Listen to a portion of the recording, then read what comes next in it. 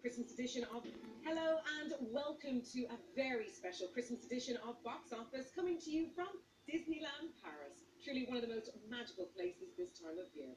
Now, over the course of the show, we'll be bringing you some incredible interviews from all your favourite movies, Oscar winners, up and coming faces, to a green, grumpy Grinch. Yes, the festive season does have bah humbug folk, and one of our favourites was actor Benedict Cumberbatch, who voiced the Our Gordon Hayden met Benedict in London to talk about playing the lovable Grouch.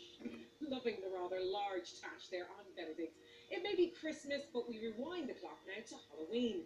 Back in September, Scream Queen icon Jamie Lee Curtis was in Dublin to talk about her final showdown with Michael Myers. Here's how I got on when I met her at the film's Irish premiere. That if I pray every night that he would escape. So I can kill him.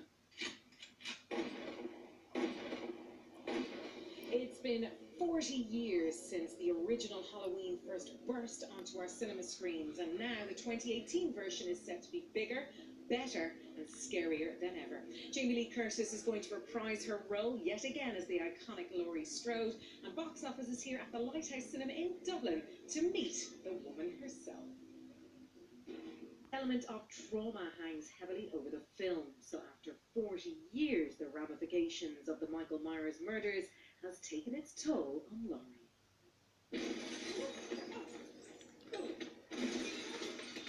Laurie Strode is no longer innocent. Laurie Strode has suffered the trauma. She's lost her family, really. Uh, The state came and took her child away.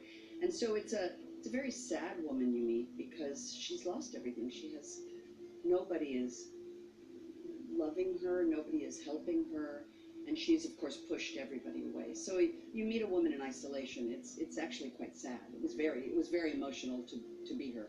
Michael Myers murdered five people. And he's a human being, we need to understand.